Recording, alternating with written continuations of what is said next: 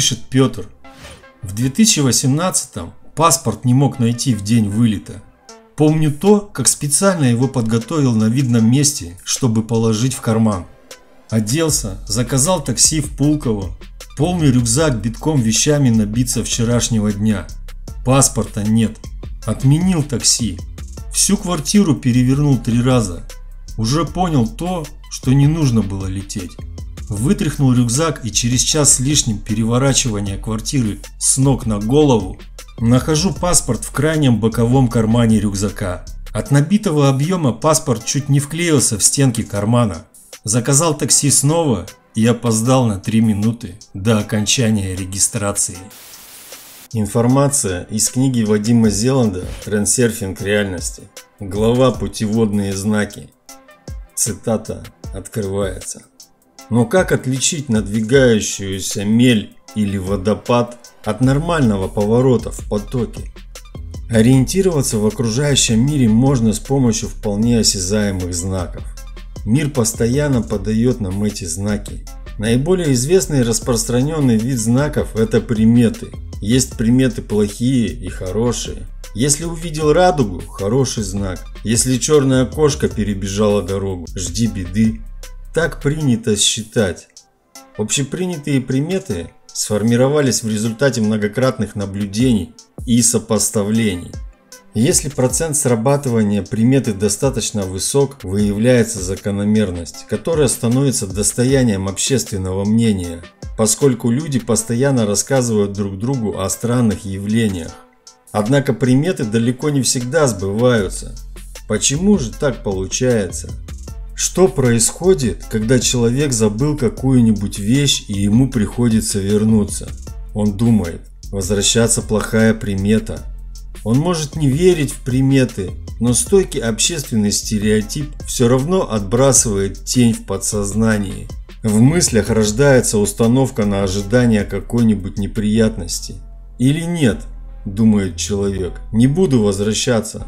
Но это тоже не помогает, потому что ровное течение уже нарушено, и человек в какой-то степени уже выбит из равновесия. Ожидание беды вносит свои коррективы и параметры мысленного излучения, и человек переносится на линии жизни, соответствующие этим параметрам. Он получает то, чего опасается. Он сам допустил такую возможность в свой сценарий. Именно поэтому вероятность срабатывания приметы возрастает. Как видите, общепринятая примета сама по себе не может служить законом или даже закономерностью – Почему именно черная кошка служит для всех стандартным дурным знаком? Или с какой стати черная кошка может оказать какое-то влияние на вашу жизнь? Влияние оказывает не она, а ваше отношение к примете. Если вы верите в приметы, они будут участвовать в формировании событий в вашей жизни. Если не верите, но сомневаетесь, влияние примет ослабнет, но все же останется. Если не верите и не обращаете на них внимания, они не будут оказывать на вашу жизнь никакого влияния. Все очень просто. Вы получаете то, что допускаете в сценарий своей жизни. Человек, рассматривающий приметы как предрассудки, не имеет в слое своего мира никаких признаков на их исполнение. Приметы действуют в слоях чужих миров, потому что те люди находят для себя подтверждение – а наш неверующий нет. Если приметы сами по себе не оказывают влияния на события жизни, тогда о каких путеводных знаках пойдет речь? Черная кошка не может оказать влияние, но она может служить знаком, предупреждающим о событии, которое будет иметь место на пути течения вариантов. Вопрос только в том, какие знаки считать путеводными ведь если задаться целью наблюдать, можно во всем происходящем вокруг видеть сплошные знаки. Но как их интерпретировать? Интерпретацией мы заниматься не будем. Неблагодарное это занятие. Слишком ненадежное и непонятное. единственное, что можно сделать, это принять знак к сведению, усилить бдительность смотрителя и быть более осторожным. Путеводными знаками являются те, которые указывают на возможный поворот в течение вариантов. Другими словами, знак служит предвестником события, которое внесет вполне ощутимое изменение в размеренное течение жизни. Если вы ожидаете какой-то поворот, хоть незначительный, тогда может появиться знак, сигнализирующий о нем. Если надвигается поворот, который вы не ожидаете, тоже может появиться какой-нибудь характерный знак. Что значит характерный? Дело в том, что когда течение вариантов делает поворот, вы переходите на другую линию жизни. Напомним, что линия является более-менее однородной по качеству жизни. Поток в течение вариантов может пересекать разные линии.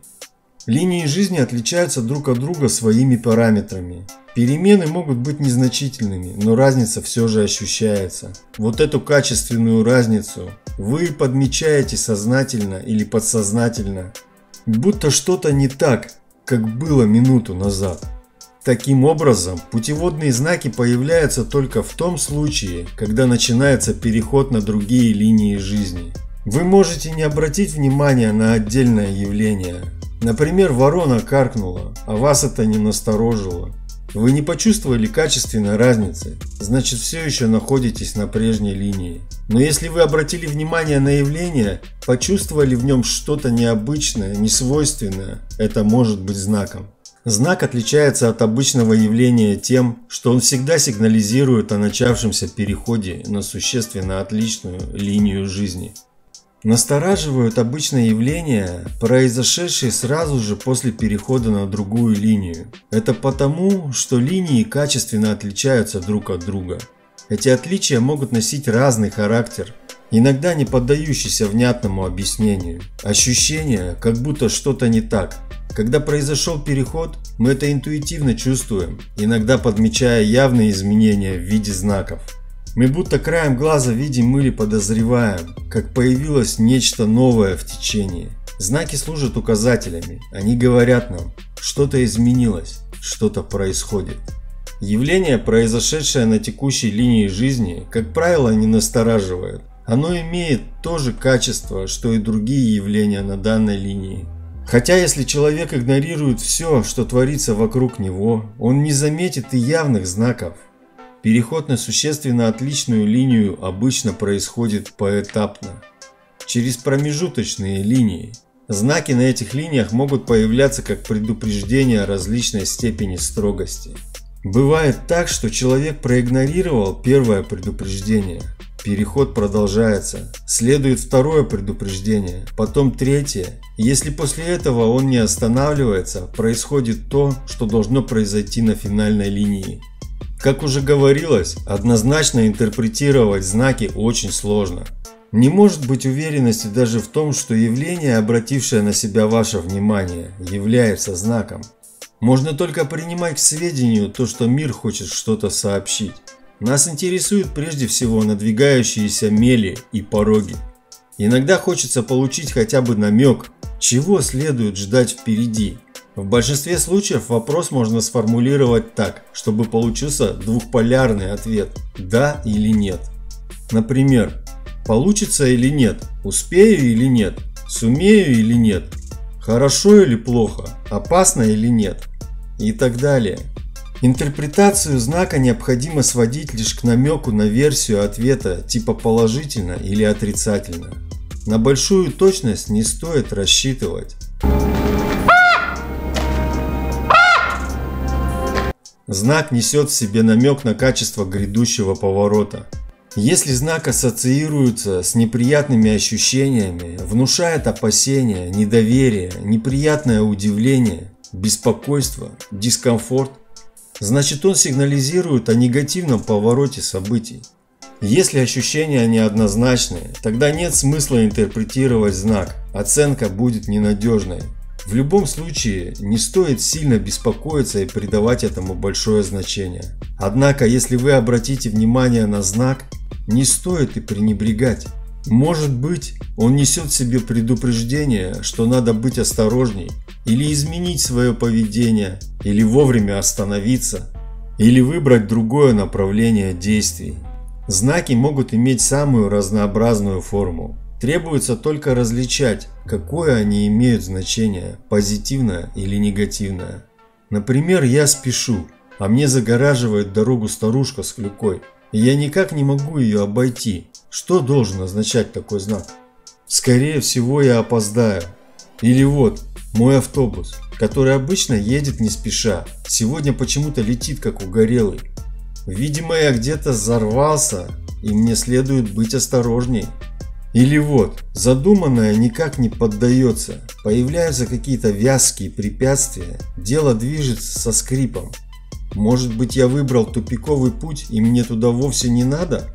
Главное достоинство знаков в том, что они способны вовремя пробудить вас от сна наяву и дать понять, что вы, возможно, действуете в интересах деструктивного маятника и в ущерб себе.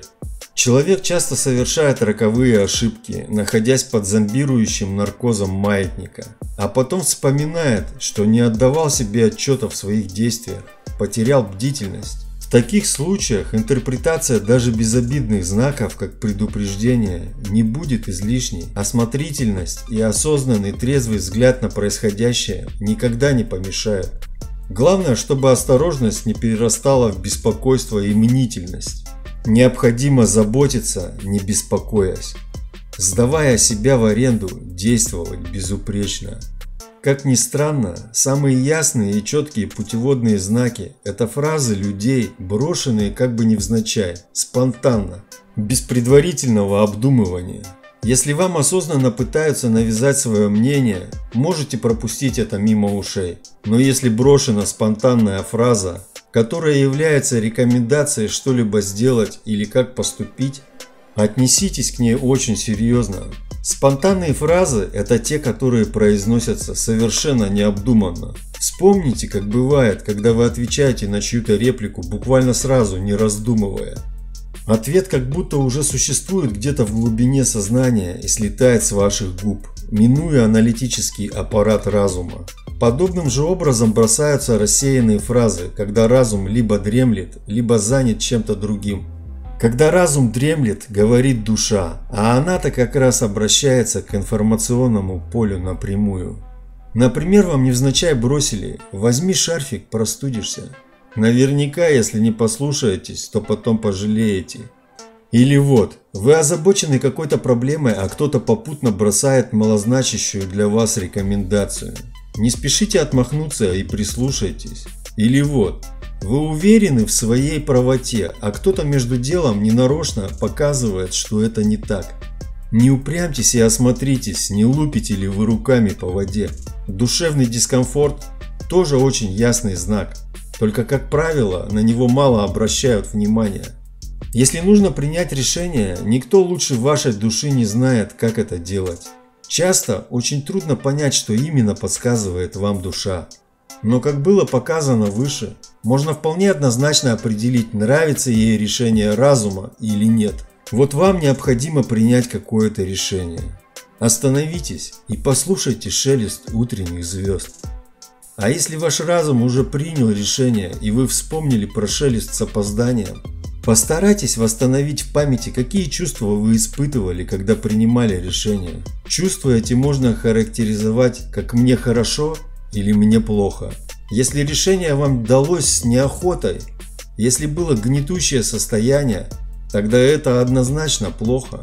В таком случае, если решение можно переменить, смело меняйте. Определить состояние душевного комфорта нетрудно. Трудно вовремя вспомнить, что вам нужно прислушаться к своим чувствам. Ведь разум рассуждает авторитарно и никого кроме себя слушать не расположен. Громогласный грохот здравого смысла не только заглушает шепот души. Разум всегда всячески старается обосновать и доказать свою правоту. Вот вы стоите перед выбором, да или нет. Душа пытается робко возразить «нет», Разум отдает себе отчет, что душа говорит «нет», но притворяется, что не слышит и убедительно обосновывает, опираясь на здравые рассуждения, свое «да». Прочитав эти строки, отложите их на отдельную полочку своей памяти и в следующий раз, когда будете принимать решения, вспомните про них. Вы убедитесь, что все происходит именно так. Предлагаю вам хорошо запомнить простой и надежный алгоритм для определения душевного «нет». Если вам приходится себя убеждать и уговаривать сказать «да», значит душа говорит нет. Запомните, когда ваша душа говорит «да», вам нет необходимости себя уговаривать. Впоследствии мы еще обратимся к этому алгоритму. Необходимо постоянно наблюдать, какие знаки подает вам окружающий мир. Но не следует стремиться видеть знаки во всем. Вот птицы высоко летают. К чему бы это? До высоты они не боятся, вот и летают себе. Стоит лишь принимать знаки к сведению и помнить, что они могут быть путеводными. Как только забываете об этом, вас сразу берут в оборот маятники, и вы можете стать жертвой обстоятельств. Особенно скрупулезно нужно проверять желания и поступки, которые способны в корне изменить вашу судьбу. Если желание вызывает некоторый дискомфорт и есть возможность от него отказаться, откажитесь. Оно идет не от души, а от разума. Желания разума всегда навязаны маятниками. То же самое касается поступков. Если проигнорировать душевный дискомфорт, в большинстве случаев ничего страшного не случится. Но иногда вам придется крупно пожалеть. Поэтому лучше по возможности отказываться от желаний и поступков, вызывающих дискомфорт, сомнения, опасения и чувство вины. Это намного упростит вам жизнь и избавит от массы проблем. Правда, есть одно «но». Если в результате неверных поступков завязался клубок проблем, то принцип отказа не всегда будет уместен. В некоторых случаях вам придется делать дискомфортные вещи, например, говорить неправду или идти на ненавистную работу. Однако, когда эти клубки будут развязаны, можете смело пользоваться принципом отказа. Вот и все, что можно рассказать о путеводных знаках в рамках модели трансерфинга. Свои знаки можете заметить и интерпретировать только вы. Не нужно вас учить, как это делать. Вы сами все поймете если будете наблюдать за собой и окружающим миром. Не следует только придавать недостаточно ясным знакам избыточно важное значение и включать негативные интерпретации в сценарии своей жизни. Чтобы не сесть на мель и не налететь на порог, достаточно просто не создавать избыточные потенциалы. При этом можно обойтись и без знаков. Все-таки нам не дано ясно понимать их значение. Единственный знак, на который следует обратить особое внимание, это состояние душевного комфорта во время принятия решений. К шелесту утренних звезд действительно стоит прислушаться. Цитата окончена. А теперь расскажу свою историю про знаки. Было дело, решил я уехать в Карпаты. Собрал сумку, купил билет на самолет – еще перед регистрацией у спортивной сумки с вещами отрывается одна ручка. Я тогда сразу подумал, знак, но грибу против течения дальше. После выясняется, что в моем багаже нож. Это ж надо мне было такое сотворить. Летал я в последний раз давно. Ладно, мелочи жизни. Грибу дальше против течения обеими руками баттерфляем. Предлагаю этому мальчишке в форме аэрофлота деньги, чтобы он пропустил мой багаж. Но одновременно с этим чувствую, что это уже второй знак. Ладно, разошлись на некой сумме. Ну, думаю, Бог любит троицу. И на тебе, подумал. Э, на досмотре меня снова останавливают и возвращают. Заводят в кабинет, показывают какую-то справку, которая запрещает не покидать страну. И ручкой написанный номер сотового телефона человека, который поставил мне этот запрет. В итоге самолет улетел без меня. Запрет на выезд был снят в тот же день. Оказалась очень старая история. Сделал частичный возврат денег на билет и понял, что лететь мне никуда не надо. Сейчас я уже точно знаю, почему меня тогда не пустили. Пишите свои истории в комментариях или мне на почту. Ссылка в описании.